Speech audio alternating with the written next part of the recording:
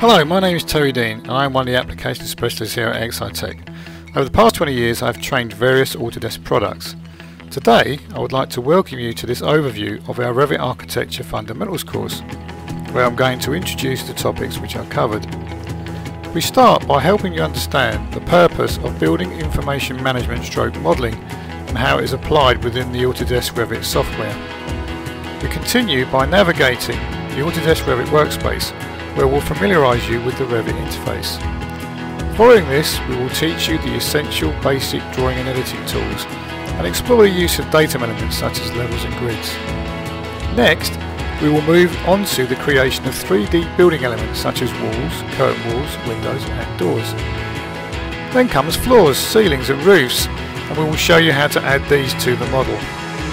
We continue to build your knowledge with the creation of component-based and custom stairs. Railings are also taught here. Next, we progress to component elements such as furniture and equipment, followed by the creation of views such as plans, sections, elevations, detail and 3D views, as well as adding text, dimensions, detail components and how to generate schedules. Finally, we cover how to add the views to sheets and manipulate them, together with an overview of plotting and exporting Revit models.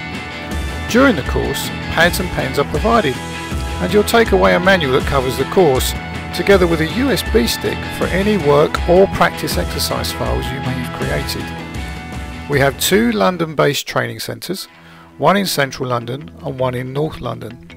At both venues we will provide refreshments and lunch. But we can also come to you to conduct training. All we ask is that you provide a suitable training environment so we can provide the best possible training experience. On completion of our course you are entitled to an Autodesk certificate and also 30 days free post-training support regarding topics covered on the course. But this is just a snapshot of what we cover, so should you require further information, why not give us a call or refer to our website. Thank you for watching.